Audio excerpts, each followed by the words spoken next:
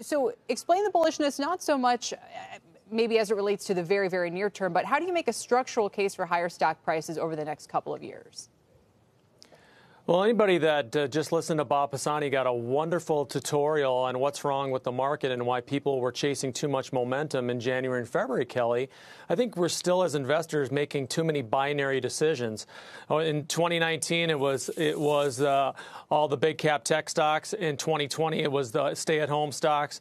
In 2021, uh, we saw a lot of those heavy, more speculative names like the SPAC-driven names and the lithium names and the clean air tech and those and those those Cathie Wood type names really recover. But anything, uh, more than anything, I'm sorry, the value names. And so I think this momentum trading has to stop and we have to be more diversified.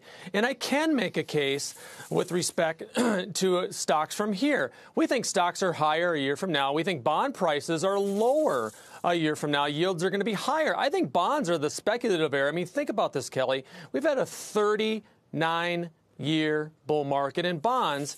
And I think that's where the, that's where the stress on is. And think about this also, lastly, $2 trillion at least of money sitting on the sidelines. Institutional investors have underperformed. I think dips will be bought. Mm-hmm. I don't see a deep correction of more than 10%.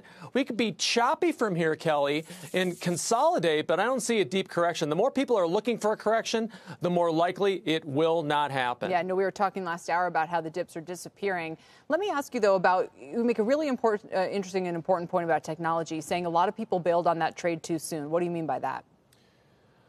Well, I think they saw bond yields heading in the, in the wrong direction, and I and uh, I think they, they they rushed to judgment on tech. I mean, think about this, Kelly. We would not have a vaccine without technology.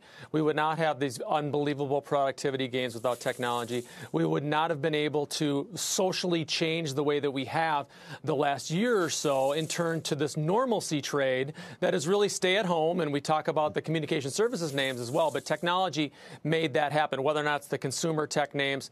Uh, like Apple or, or the productivity names um, or the software names or the payment names like PayPal or Visa or MasterCard. I think uh, technology is here to stay. Three to five years, it still remains one of our three favorite sectors. I think for the next 12 months, clearly you want to be more focused on cyclical, uh, especially those areas with strong earnings and strong themes like financials, especially. And, but I think you, I think people bailed on tech too early, and it was part of my notion and fear that people are making binary decisions: sell tech, buy value. And I think it obviously did not work. Shepard Smith here. Thanks for watching CNBC on YouTube.